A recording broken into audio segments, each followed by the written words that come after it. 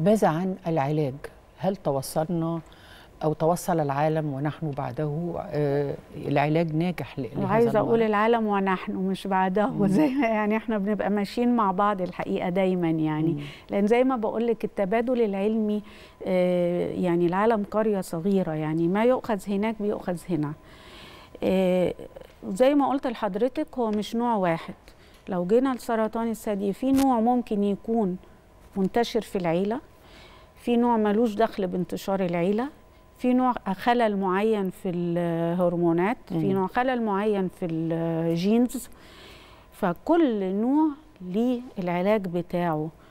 آه، في مدرسة تقولك أنا أدي للمريضة الأول العلاج وبعدين أعمل لها الجراحة يكون الورم صغر شوية فبحافظ على الثدي بتاعها. في مدرسة تاني بتقول لا أعمل العملية وبعدين العلاج. الاتنين صح.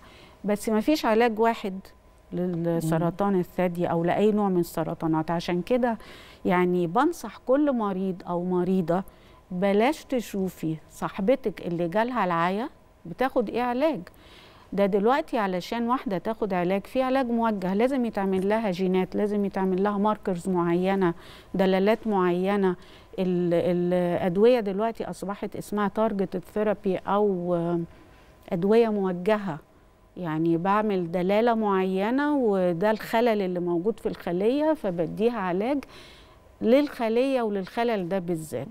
فما فيش علاج موحد لكل ال- السيدات اللي عندهم اورام أيوة. لكن اللي بنقوله إن العلاج دلوقتي أصبح أحسن كتير جدا لأنه أصبح موجه للخلية السرطانية بس الأول كان بيبقى موجه للخلية السرطانية وبيأذي كمان ما معاها حولها ما حولها. طب ماذا عن الأبحاث الخاصة بهذا المرض في العالم وفي مصر؟ طبعا أهم الأبحاث اللي هو العلاج الموجه وده ال- الأدوية اللي هي زي ما قلت لحضرتك بت- بتعمل bombarding أو بتعمل يعني بتموت الخليه السرطانية بالذات الأدوية دي غالية شوية لأنها بتاخد مجهود كبير جدا في حاجات في حاجة اسمها clinical trials أو التجارب الاكلينيكيه مم. بتقعد مثلا 20 سنة أو 10 سنين على ما دواء زي ده يطلع مم. فعشان كده الأدوية دي غالية آه العلاجات طبعا طرق التشخيص بقت أسهل جدا الأجهزة بقت أسهل جدا وبتسهل زي ما قلت لحضرتك الهندسة الطبية ساهمت كتير جدا في إن يطلع أنواع معينة من الأجهزة بتسلك أو بتعمل فحص للجسم كله شامل مم.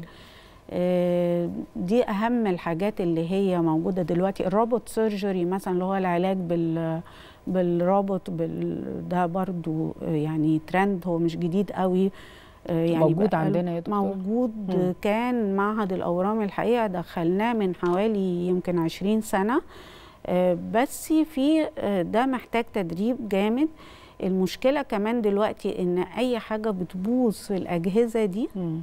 آه، على ما بتيجي تتصلح وكده دي بتبقى مشكلة شوية يعني لا نصنع نحن دي مشكلة منها؟ كبيرة جدا إن إحنا لا نصنع هذه الأجهزة يعني إحنا بنصنع هل لأنها معقدة مثلا جدا أو آه ليه؟ هي معقدة طبعا بس أنا عايزة أقول لك إن إحنا عندنا آه، مهندسين وعلماء يعني ممكن حتى يعني أنا من رأيي إن إحنا نبتدي لو ابتدينا حتى وكانت الكفاءة 80% في الآخر هوصل لل 100% صحيح آه. إنما لو ما ابتديتش خالص هفضل طول عمري أستورد الحاجات دي. يعني إلى الآن نحن نعتمد اعتماد كلي على استيراد هذه في الأجهزة. بعض الأجهزة آه بنعتمد اعتماد كلي. زي البات سكان اللي هي بتشوف الجسم كله. زي الأجهزة اللي اللي هي راديو ثيرابي اللي بتعالج بالإشعاع والحاجات دي آه بنعتمد.